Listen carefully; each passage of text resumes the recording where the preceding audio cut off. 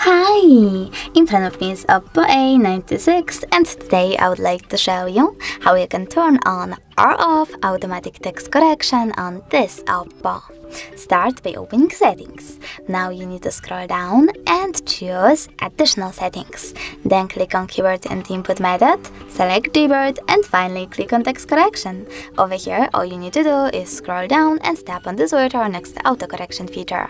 As you can see automatic text correction is now on, but you can always turn it off by clicking on the same sweater. Thanks so much for watching. If you enjoyed this video, leave a like, comment and definitely subscribe. Bye!